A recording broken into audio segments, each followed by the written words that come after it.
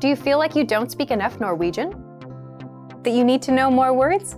Then stick around. With these lessons, you'll pick up some of the most common words in just a few minutes. Now, this video is a small portion of our learning program. To get the full lessons, translations, and Fluency Fast study tools, click the link in the description and sign up for your free lifetime account. Hi everyone, I'm Gabriella. How are your Norwegian listening skills? In this video, you'll have a chance to test them out with a quiz. First, you'll see an image and hear a question. Next comes a short dialogue. Listen carefully and see if you can answer correctly. We'll show you the answer at the end. Are you ready?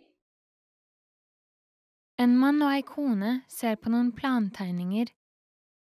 Hvilken leilighet skal de se? Hva med denne? Den har ei stor og fin stue. Hm, jeg liker ei stor stue, men jeg vil gjerne ha parkeringsplass. Skal vi se… Hva med denne her? Ja, den ser fin ut. Skal vi gå og se den? Vent litt. Er ikke skapet litt for lite? Godt poeng. Hm, det ser ikke ut som det finnes én som er perfekt. Vent, hva med denne? Den har alt som vi trenger, ikke sant? Og skapet er ganske stort òg. La oss gå og se denne. Ok, Hvilken leilighet skal de se?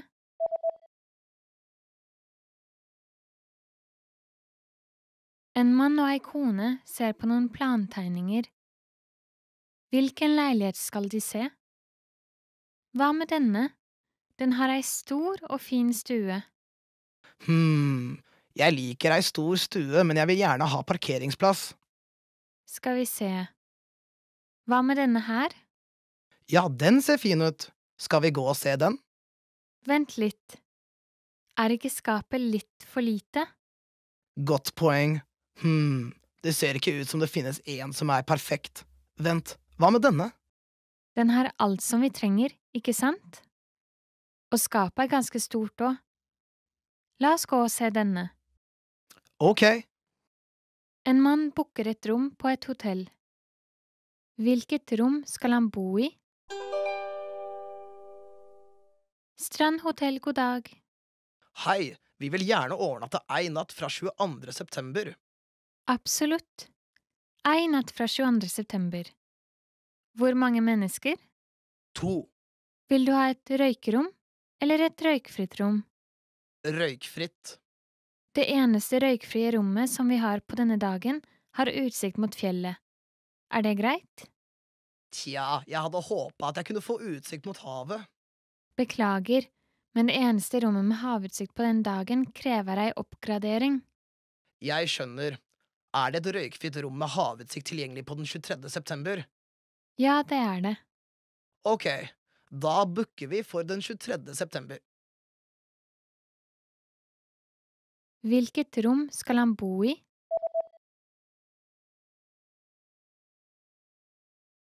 En mann booker et rom på et hotell. Hvilket rom skal han bo i? Strand hotell, god dag. Hei, vi vil gjerne overnatte ei natt fra 22. september. Absolutt. Ei natt fra 22. september. Hvor mange mennesker? To. Vil du ha et røykerom eller et røykfritt rom? Røykfritt. Det eneste røykfrie rommet som vi har på denne dagen, har utsikt mot fjellet. Er det greit? Tja, jeg hadde håpa at jeg kunne få utsikt mot havet.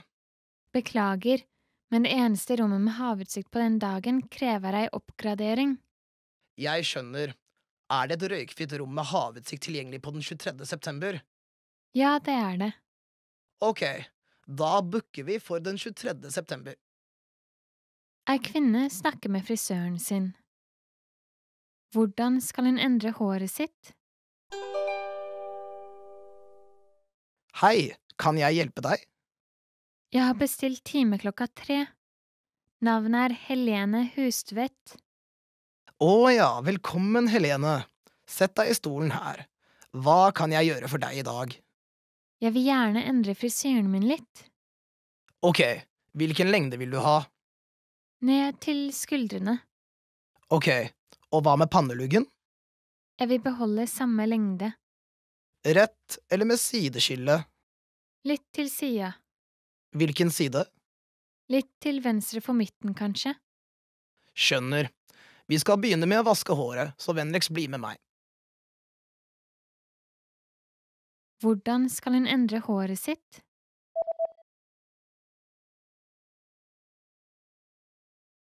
Ei kvinne snakker med frisøren sin. Hvordan skal hun endre håret sitt? Hei, kan jeg hjelpe deg? Jeg har bestilt time klokka tre. Navnet er Helene Hustvedt. Å ja, velkommen, Helene. Sett deg i stolen her. Hva kan jeg gjøre for deg i dag? Jeg vil gjerne endre frisyren min litt. Ok, hvilken lengde vil du ha? Ned til skuldrene. Ok, og hva med panneluggen? Jeg vil beholde samme lengde. Rett eller med sideskille? Litt til sida. Hvilken side? Litt til venstre for midten, kanskje. Skjønner. Vi skal begynne med å vaske håret, så vennligst bli med meg. En mannlig og en kvinnelig student ser på stillingsannonser. Hvilken jobb skal den kvinnelige studenten søke? Du, hva tenker du om denne jobben? Den har en ganske høy timelønn. Ja, lønna ser bra ut, men kunne du virkelig levere aviser? Selvsagt. Jeg er flink på sykkel, men jeg vet ikke om jeg kan stå opp så tidlig. Hva med denne? Lønna er ikke like høy, men du kan jobbe to eller tre dager i uka, og om kvelden. Og denne? Som kassedame? Tja, det ville være bra å jobbe etter skolen. Denne her på kaffebar kunne være bra. Å ja, jeg elsker det stedet. Og det er på veien til skolen. Ikke så verst, ikke sant? Hm… Hvilken skal jeg søke på? Hvilke to er valget mellom? Kaffebaren og avisene? Ja, lønna til avisene er veldig grei. Ok, jeg har bestemt meg. Jeg må vel bare stå opp tidlig. Hvilken jobb skal den kvinnelige studenten søke?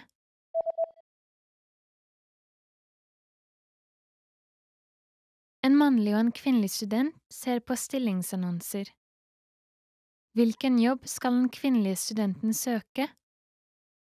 Du, hva tenker du om denne jobben? Den har en ganske høy timelønn. Ja, lønna ser bra ut, men kunne du virkelig levere aviser? Selvsagt. Jeg er flink på sykkel, men jeg vet ikke om jeg kan stå opp så tidlig. Hva med denne? Lønna er ikke like høy, men du kan jobbe to eller tre dager i uka, og om kvelden. Og denne? Som kassedame? Tja, det ville være bra å jobbe etter skolen.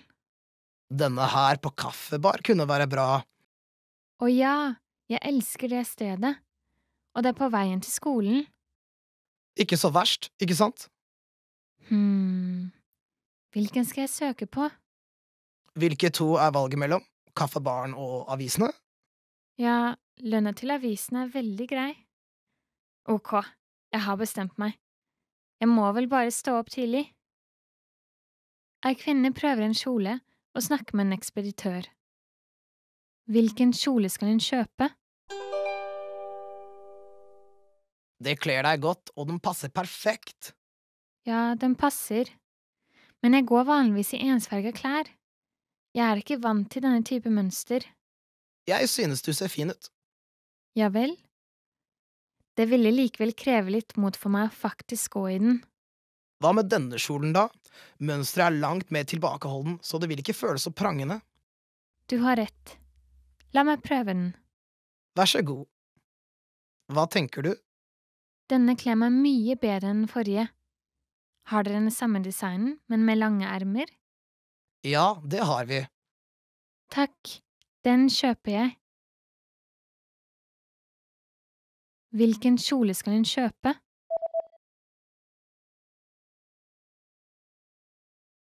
Ei kvinne prøver en kjole og snakker med en ekspeditør.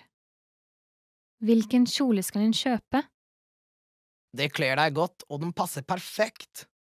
Ja, den passer, men jeg går vanligvis i ensfarga klær. Jeg er ikke vant til denne type mønster. Jeg synes du ser fin ut. Ja vel? Det ville likevel kreve litt mot for meg å faktisk gå i den. Hva med denne kjolen, da? Mønsteret er langt mer tilbakeholden, så det vil ikke føles så prangende. Du har rett. La meg prøve den. Vær så god. Hva tenker du? Denne kler meg mye bedre enn den forrige. Har dere den samme designen, men med lange ermer? Ja, det har vi. Takk, den kjøper jeg. Et selskaps president og sekretæren hans snakker i telefonen. Hvilket dokument kommer sekretæren til å levere til salgsavdelingen? Hei, kan du gjøre meg en tjeneste? Det er et dokument på skrivebordet mitt som jeg vil at du skal levere til salgsavdelingen. Så klart, hvilket dokument er det? Jeg tror det er i den blå konvolutten. Den blå konvolutten. Vel, det er to blå konvolutter på pulten din. Ah, riktig. Det er et rødt seil på det øvre høyre hjørnet. Den ene med et grønt seil er dokumentet vi deler ut på rekrutteringsorientering. Den med rødt seil. Ok, har den. Flott. Så vennligst lever den til salgsavdelingen innen 13.00, og sørg for å sende det direkte til lederen. Du kjenner han, ikke sant? Ja, jeg har møtt og snakket med han flere ganger. Bra. Å, og kan du levere den andre konvolutten til HR-avdelingen? Ja, null problem. Hvilket dokument kommer sekretæren til å levere til salgsavdelingen?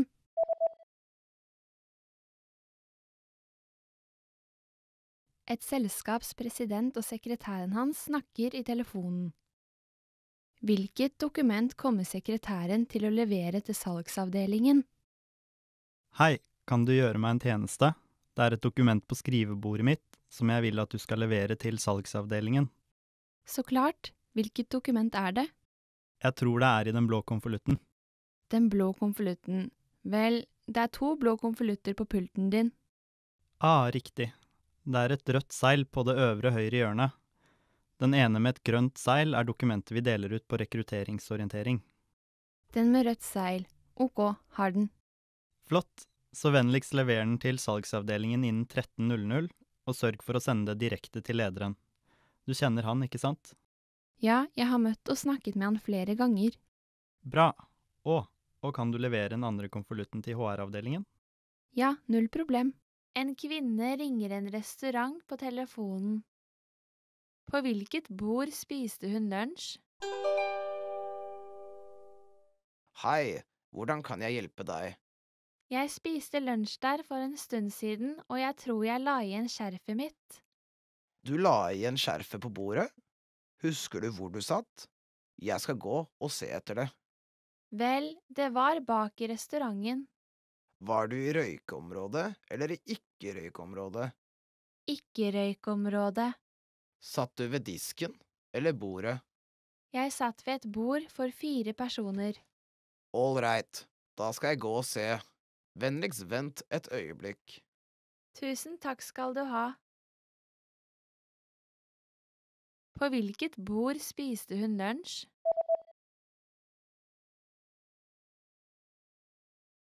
En kvinne ringer en restaurant på telefonen.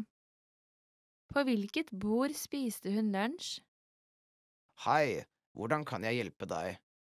Jeg spiste lunsj der for en stund siden, og jeg tror jeg la igjen skjerfet mitt. Du la igjen skjerfet på bordet? Husker du hvor du satt? Jeg skal gå og se etter det. Vel, det var bak i restauranten. Var du i røykeområdet eller i ikke-røykeområdet? Ikke-røykeområdet. Satt du ved disken eller bordet? Jeg satt ved et bord for fire personer. Right, da skal jeg gå og se. Vennligst vent et øyeblikk. Tusen takk skal du ha. En mann leter etter en leilighet. Hvilken leilighet kommer han til å velge? Unnskyld meg, jeg leter etter en leilighet i dette området. Kan du vise meg noen plantegninger? Ja visst, er dette for en singelperson? Nei, jeg kommer til å bo med kona mi. Jeg vil ha en stue, et soverom og et studie. Ok, hva med denne? Det er to rom pluss en stue. Skjønt det kan være litt støyende fordi den ligger i nærheten av en stor vei. Jeg skjønner, Jeg jobber vanligvis hjemme, så jeg trenger et rolig sted, og jeg foretrekker en firkantformet stue. Vel, hva med denne? Den ligger et stykke langt fra stasjonen, men i et rolig boligområde. Det er to rom og en stue, men et av rommene er litt smalt. Hm, vi har ikke så mye ting, så denne kan kanskje være nok for oss. Vi kan vise deg en annen leilighet som har to store rom, men ligger mye lenger fra stasjonen. Nei takk, jeg vil gjerne gå og se den andre du viste meg. Hvilken leilighet kommer han til å velge?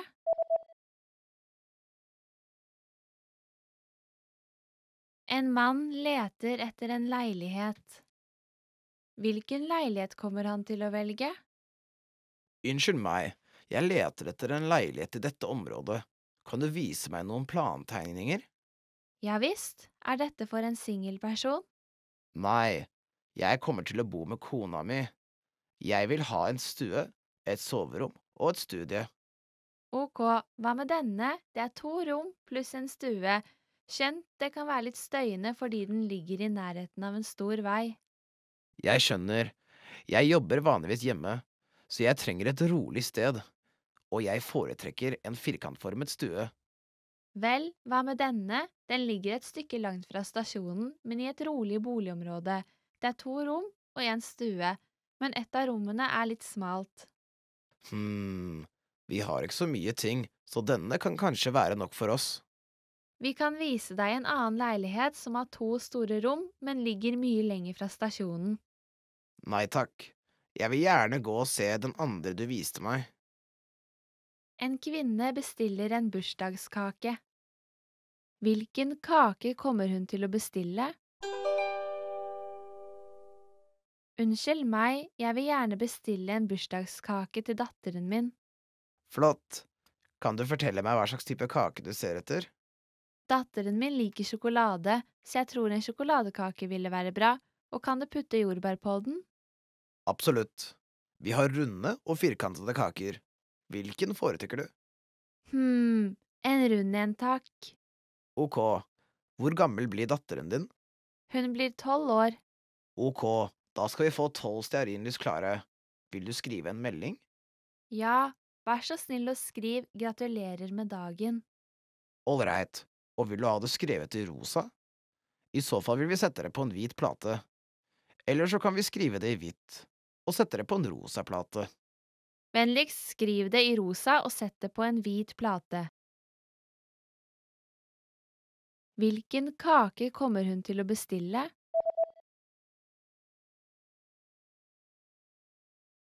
En kvinne bestiller en bursdagskake. Hvilken kake kommer hun til å bestille? Unnskyld meg, jeg vil gjerne bestille en bursdagskake til datteren min. Flott. Kan du fortelle meg hva slags type kake du ser etter? Datteren min liker sjokolade, så jeg tror en sjokoladekake ville være bra, og kan du putte jordbær på den? Absolutt. Vi har runde og firkantede kaker. Hvilken foretrekker du? Hm, en rund en, takk. Ok. Hvor gammel blir datteren din? Hun blir tolv år. Ok, da skal vi få tolv stearinlys klare. Vil du skrive en melding? Ja, vær så snill og skriv gratulerer med dagen. Ålreit. Og vil du ha det skrevet i rosa? I så fall vil vi sette det på en hvit plate. Eller så kan vi skrive det i hvitt, og sette det på en rosa plate. Vennligst skriv det i rosa og sett det på en hvit plate. En mann og en kvinne snakker om tidsplanen for flytting. Når kommer de til å flytte? Jeg tror vi burde bestemme flyttedatoen og ringe et flyttebyrå. Ja, jeg så nettopp på noen flyttebyråer. Jeg vil ikke betale en masse penger.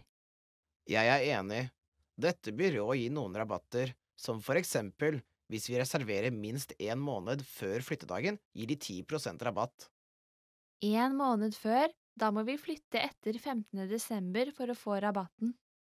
Ja, og det er en ytterligere rabatt hvis vi reserverer på en ukedag. En ukedag? Vel, jeg har et møte på mandag morgen, og utstillingen er på tirsdag og onsdag, så… Fredag ville være bra fordi vi kan organisere det nye huset over helgen. Ja, Å, vent, de sier 15% avslag mandag til torsdag og 5% avslag på fredag. Å, hva vil du gjøre? La oss få det så billig som mulig, jeg vil bli ferdig med utstillingen til da uansett. Når kommer de til å flytte?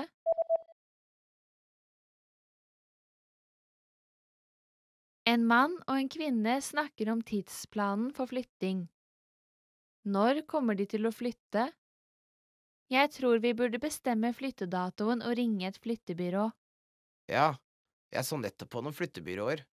Jeg vil ikke betale en masse penger. Jeg er enig. Dette byrået gir noen rabatter, som for eksempel hvis vi reserverer minst én måned før flyttedagen, gir de 10% rabatt. En måned før, da må vi flytte etter 15. desember for å få rabatten. Ja, og det er en ytterligere rabatt hvis vi reserverer på en ukedag. En ukedag? Vel, jeg har et møte på mandag morgen, og utstillingen er på tirsdag og onsdag, så… Fredag ville være bra fordi vi kan organisere det nye huset over helgen. Ja, å, vent, de sier 15% avslag mandag til torsdag og 5% avslag på fredag. Å, hva vil du gjøre? La oss få det så billig som mulig, jeg vil bli ferdig med utstillingen til da uansett. En mann shopper under et røverkjøpsalg. Hva og hvor mye kommer han til å kjøpe? Unnskyld, er denne skjorten kun tilgjengelig i et sett med tre stykker? Vi kan selge separat, men det kommer til å bli dyrere per skjorte. Ålreit, vel, jeg trenger ikke tre av den samme skjorta, hva burde jeg gjøre? Hvis du kjøper dette settet med tre slips i tillegg, kan vi gi deg en rabatt på skjortene slik at du får tre for prisen av én. Jeg skjønner, et sett med tre slips, og jeg får et sett med tre skjorter for prisen av én. Det er riktig. Ok, jeg gir de to andre skjortene til noen andre. God idé. Det er en eksepsjonell sparing. Hva og hvor mye kommer han til å kjøpe?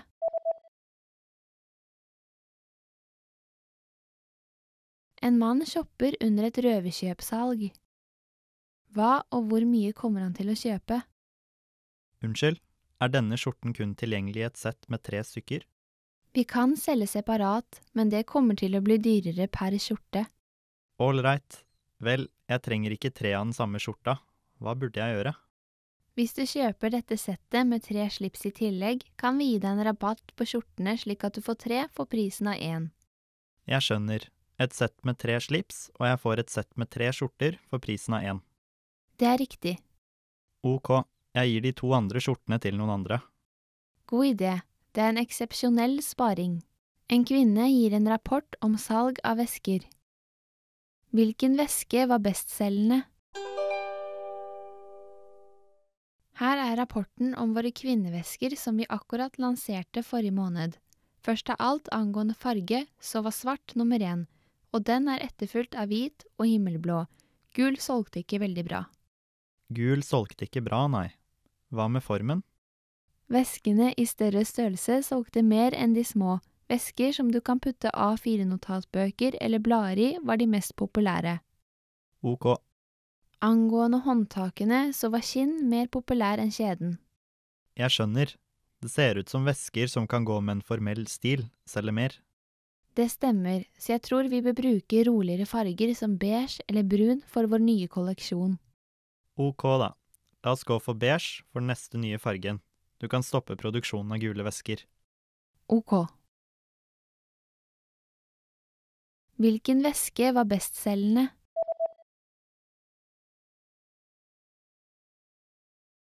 En kvinne gir en rapport om salg av væsker. Hvilken væske var bestselgende? Her er rapporten om våre kvinnevesker som vi akkurat lanserte forrige måned. Først av alt angående farge, så var svart nummer én, og den er etterfulgt av hvit og himmelblå. Gul solgte ikke veldig bra. Gul solgte ikke bra, nei.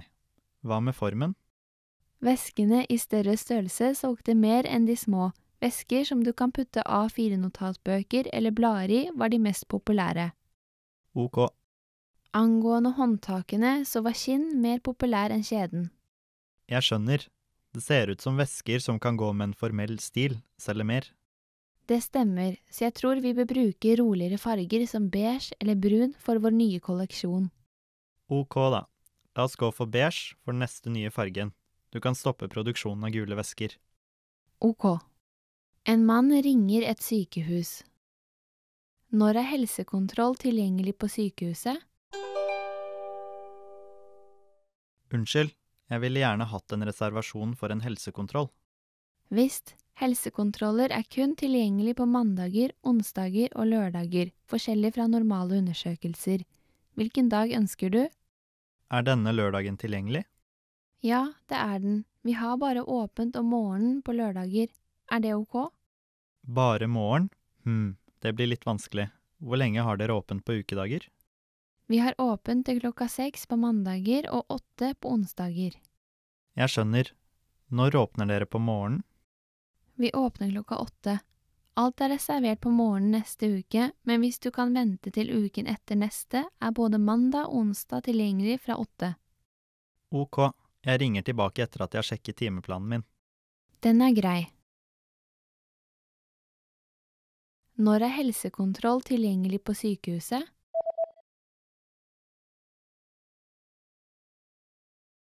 En mann ringer et sykehus. Når er helsekontroll tilgjengelig på sykehuset? Unnskyld, jeg ville gjerne hatt en reservasjon for en helsekontroll. Visst, helsekontroller er kun tilgjengelig på mandager, onsdager og lørdager, forskjellig fra normale undersøkelser. Hvilken dag ønsker du?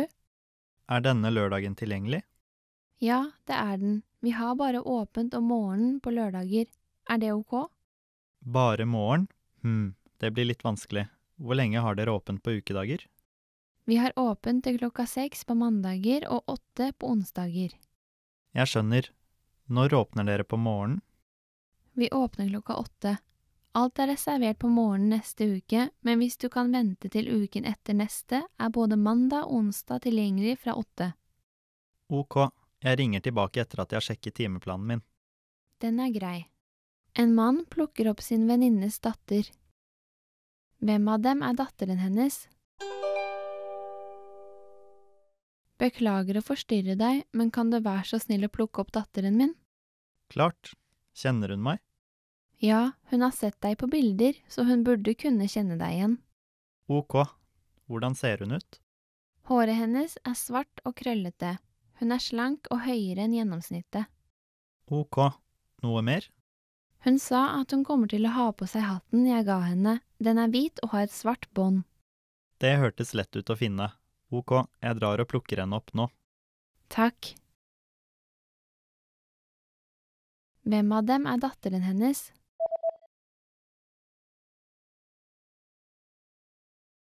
En mann plukker opp sin venninnes datter. Hvem av dem er datteren hennes? Beklager å forstyrre deg, men kan du være så snill å plukke opp datteren min? Klart. Kjenner hun meg? Ja, hun har sett deg på bilder, så hun burde kunne kjenne deg igjen. Ok. Hvordan ser hun ut? Håret hennes er svart og krøllete. Hun er slank og høyere enn gjennomsnittet. Ok. Noe mer? Hun sa at hun kommer til å ha på seg hatten jeg ga henne. Den er hvit og har et svart bånd. Det hørtes lett ut å finne. Ok, jeg drar og plukker henne opp nå. Takk. En mann snakker med en kvinne om lommeboka si. Hvor kommer han til å lete etter lommeboka si? Å nei, jeg kan ikke finne lommeboka mi. Jeg må ha lagt den igjen et sted. Hva, husker du når du brukte den sist? Nei, jeg husker ikke. Vel, la oss prøve å tenke på hvor du har vært i dag. Ok. Først gikk jeg for å se en film med vennen min. Vi gikk til en kafé etter det, men vennen min betalte for meg, så jeg rørte ikke lommeboka mi. Men husker du om du brukte den da du kjøpte kinobilletten? Ja, og vi dro til treningsstudioet. Etter det la jeg merke til at jeg ikke hadde den med meg. Brukte du penger på treningsstudioet? Nei, fordi medlemskapsavgiften blir automatisk betalt fra bankkontoen min hver måned. Og jeg husker at jeg kjøpte en flaske juice fra automaten. Ok, så la oss gå dit og se etter den. Hvor kommer han til å lete etter lommeboka si?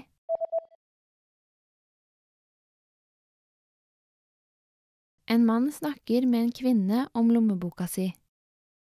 Hvor kommer han til å lete etter lommeboka si? Å nei, jeg kan ikke finne lommeboka mi. Jeg må ha lagt den igjen et sted. Hva, husker du når du brukte den sist? Nei, jeg husker ikke. Vel, la oss prøve å tenke på hvor du har vært i dag. Ok. Først gikk jeg for å se en film med vennen min. Vi gikk til en kafé etter det, men vennen min betalte for meg, så jeg rørte ikke lommeboka mi. Men husker du om du brukte den da du kjøpte kinobilletten? Ja, og vi dro til treningsstudioet. Etter det la jeg merke til at jeg ikke hadde den med meg. Brukte du penger på treningsstudioet? Nei, fordi medlemskapsavgiften blir automatisk betalt fra bankkontoen min hver måned.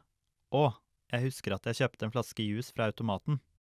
Ok, så la oss gå dit og se etter den. En mannlig og en kvinnelig student snakker mens de ser på timeplanen for klassene sine. Velg den mannlige studentens timeplan for dagen med møte. Vi er nødt til å ha et møte angående vår neste gruppepresentasjon. Sant. Når er du ledig? Jeg kommer på skolen på mandager, onsdager og torsdager. Da vil enten onsdager eller torsdager fungere for oss begge, siden jeg er her på tirsdager, onsdager og torsdager. Hva med torsdag ettermiddag, da? På torsdager har jeg forelesninger til tredje periode. Jeg kan rekke det etter tredje periodes økonomiklasse, skjønt. Men så har jeg deltidsjobb fra klokka fem, så jeg vil bare være ledig for én time. Hm, det hørtes litt for kort ut. Hva med onsdag, da? Unntatt moderne historie i andre periode og internasjonal jus i fjerde periode, er jeg ledig. Jeg skjønner. Jeg har asiatisk historie i tredje periode, og så har jeg deltidsjobb på kvelden. Hva med å møtes tidlig på morgen og snakke frem til andre periode starter? Vel, jeg er ikke en morgenperson. Hvorfor møtes vi ikke på torsdag? Jeg endrer skiftet mitt til en annen dag. Ok. Vennligst kom til kafeteriaen når klassen er over. Velg den mannlige studentens timeplan for dagen med møte.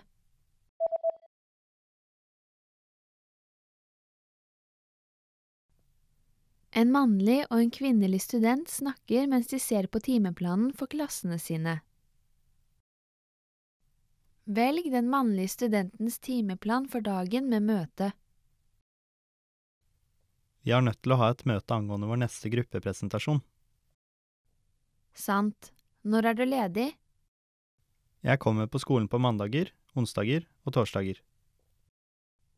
Da vil enten onsdager eller torsdager fungere for oss begge, siden jeg er her på tirsdager, onsdager og torsdager. Hva med torsdag ettermiddag, da? På torsdager har jeg forelesninger til tredje periode. Jeg kan rekke det etter tredje periodes økonomiklasse, skjønt. Men så har jeg deltidsjobb fra klokka fem, så jeg vil bare være ledig for én time. Hm, det hørtes litt for kort ut. Hva med onsdag, da? Unntatt moderne historie i andre periode og internasjonal jus i fjerde periode, er jeg ledig.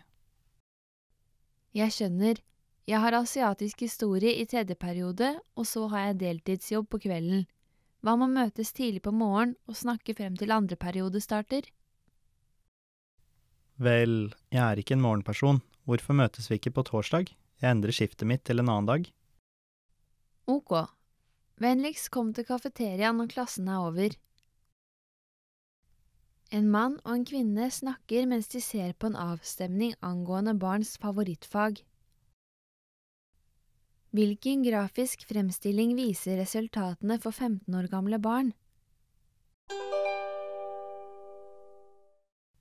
Hei, se på denne artikkelen. Den handler om de tre mest populære fagene blant 10 år gamle barn og 15 år gamle barn. Å, la meg se. Å, kroppsøving er på topp på 10 år gamle barn sin liste. Kroppsøving er fortsatt populært, selv om jeg har hørt at barn i disse dager bruker mindre tid på sport. Ja, og musikk kom på andre. Ja, det mest populære faget blant 15 år gamle barn er historie. Når man blir 15 år gammel, blir man interessert i andre fag enn da man var 10 år gammel. Sant. Og politikk kom på andre. Informasjonsteknologi var rangert som tredje, men det var ikke engang et skolefag da vi var på den alderen. Hva var det tredje mest populære faget blant ti år gamle barn, forresten? La meg se. Å, det var kunst. Jeg lurer på om de designer ting ved hjelp av dataprogramvare i disse dager. Hvilken grafisk fremstilling viser resultatene for 15 år gamle barn?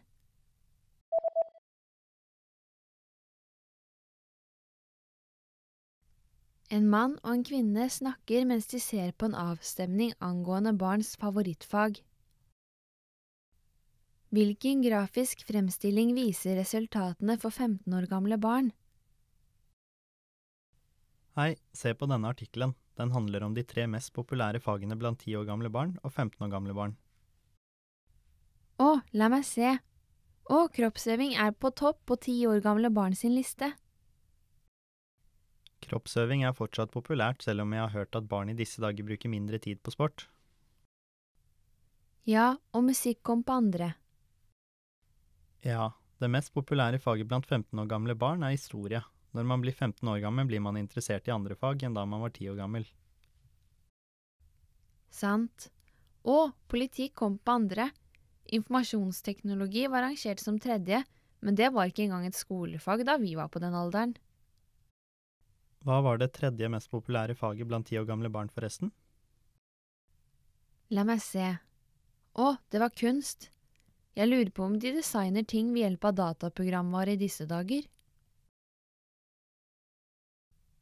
TV-en sender værmeldinga. Hvilken er værmeldinga for den kommende uka? Her er værmeldinga for den kommende uka. I den første halvdelen av uka vil det generelt være mange dager med sol, selv om det kan bli skyet fra ti til ti. I den andre halvdelen av uka vil skyene trolig spre seg, og det vil regne noen steder. I midten av uka, når været forverres, vil det være noen stormer. Den maksimale temperaturen vil være den samme som det gjennomsnittlige år, og det vil være omtrent 20 grader i den første halvdelen av uka. Senere i uka vil temperaturen være lavere enn det gjennomsnittlige år, og vil synke fra 18 grader til 15 grader. Minimumtemperaturen vil fortsette å være 7-8 grader, som er litt lavere enn normalt. Det vil bli en solrik søndag i morgen, og det vil bli perfekt vær for en ferie. Hvilken er værmeldinga for den kommende uka?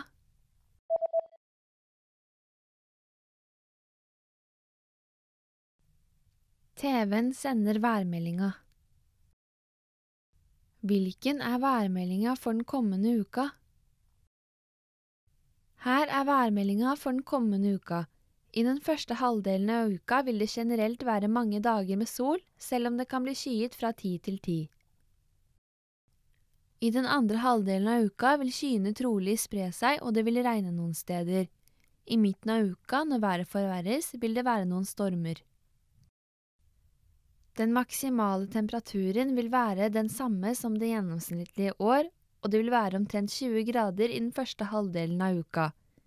Senere i uka vil temperaturen være lavere enn det gjennomsnittlige år, og vil synke fra 18 grader til 15 grader. Minimumtemperaturen vil fortsette å være 7-8 grader, som er litt lavere enn normalt. Det vil bli en solrik søndag i morgen, og det vil bli perfekt vær for en ferie. En leveringsperson snakker til en resepsjonist. Hva vil leveringspersonen gjøre senere? Velg det uriktige svaret. Hallo, jeg har en levering for HR og regnskapsavdelingen. Takk. Begge er i fjerde etasje. Jeg skjønner. Jeg må også plukke opp noe fra salgsavdelingen. Salgsavdelingen har første og andre divisjon. Hvilken er det? La meg se, det er andre divisjon. Salgsavdelingens andredivisjon er i andre etasje. Det er en intercom ved inngangen, så vennligst ring personen du leter etter. Jeg skjønner. Kan jeg bruke heisen over der til å gå opp? Jeg er lei for det, men heisen er midlertidig ute av drift for sikkerhetskontroll. Har du noe imot å bruke trappen over der? Ikke i det hele tatt. Tusen takk skal du ha. Hva vil leveringspersonen gjøre senere? Velg det uriktige svaret.